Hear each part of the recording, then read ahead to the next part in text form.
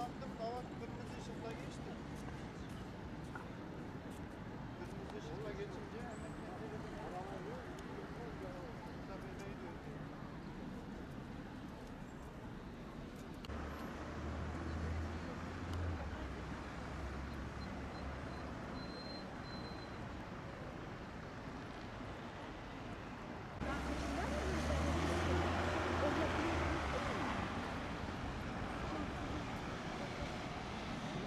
dinledim. Hatta canlı canlı dinledim ben o programı. Ee, ya ulusal kanalda bir şehrin e, sosyal yapısını, aile yapısını bilmeden, o şehrin dokusunu hissetmeden yapılmış bir e, aciz bir konuşma olarak nitelendiriyorum ben bunu. Hani içkili restorantın olmaması e, bir şehri eleştirecek, bir şehirdeki büyük bir eksikliği ortaya çıkaracak zihnimce en son problem.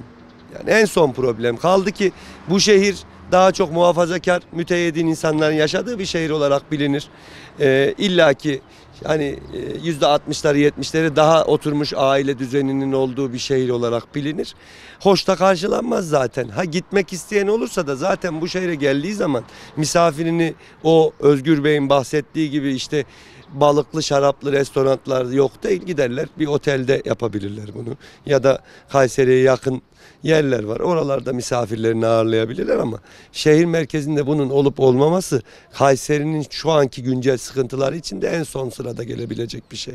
Ben üzün, üzüldüm yani bu açıklamayı dinleyince üzüldüm. Bir de e, eleştirilen şey alkol ya alkol kötü insanların şuurunu bozabilir.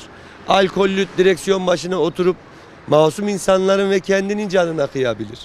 Alkol e, hani çok iyi, çok böyle harika bir şey olduğunu kim anlatıyor, kim söylüyor? Hiç kimse söylemiyor yani. Şimdi içen kendine içer, içmeyen içmez. Sağlığa da zararlı olduğu bilim adamlarınca, doktorlar tarafından da sürekli söylenen bir şey alkol. Bağımlılık yapan bir şey. Ya olmasın Kayseri'de de bu o mekan olmasın. Şehrimizin gerçekten ciddi sorunları var. Keşke ulusal bir kanalda bu sorunları de, değinip bu so- sorunlar üzerinden eleştirseydi keşke mevcut Kayseri Belediyesi'ni. Kayseri'de bu konuda gurur duyuyoruz. Alkollü mekan yok. Alkol de iyi bir şey değil. Yani bir liderin de böyle bir konuşma yaptığı için onu kınıyorum ya. Eğer ki bir yerlerde alkol alınacaksa gizli saklı alınmalı. En son katlarda olmalı. Şehir içinde olmamalı. Şehrin dışında olmalı. Sanki bu bizim örf adetlerimizde var da biz gizliyor saklıyor gibi Kayseriler gizliyor saklıyor gibi bir olay var.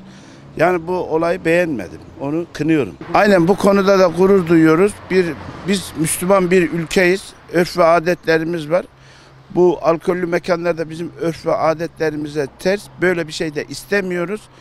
Ee, bu konuda görüşlerim bunlar. Bu açıklamada çok talihsiz bir açıklama. Onca derdin, sıkıntının içinde dile getirilecek olay bu mu? doğru değil bence. Yani her yere ruhsat verilmesi, insanların gözüne sokması uygun değil bence yani. Ortamda birçok yerlerde var zaten böyle mekanlar. Gitmek isteyen gidebilir. Herkes özgür ama iyi bir şey de değil yani. Yani bence eleştirilecek bir konu değil yani.